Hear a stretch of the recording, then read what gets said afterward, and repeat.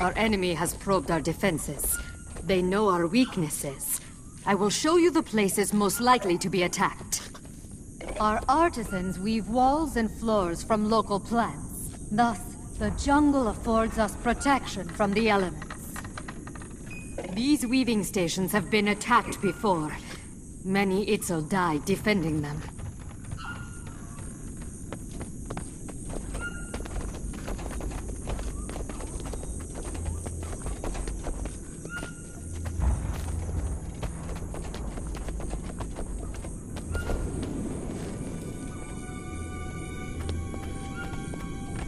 See these carvings?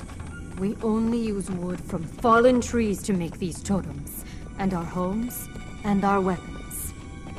The poisons that coat our arrows are also a gift from Amayali. They come from the plants around us, and our own bodies.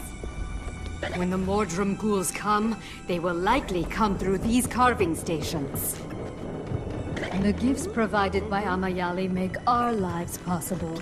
Be her gift to us, and we shall be her gift to you.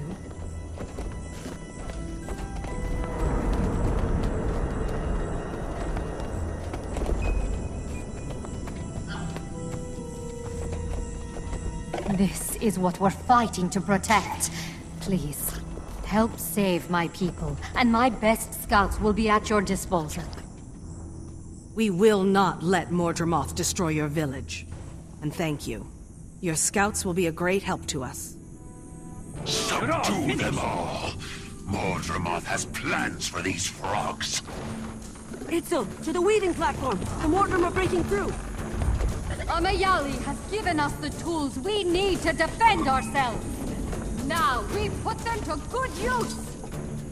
And that includes our new friends! Support them as you would your own family! Help them help us! Time to do some... I need each of you to pick a platform and guard it. I'll patrol them all. Shout if you need help. Replenish.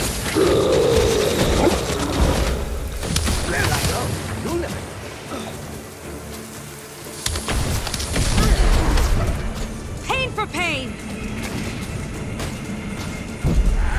You'll have to get much harder.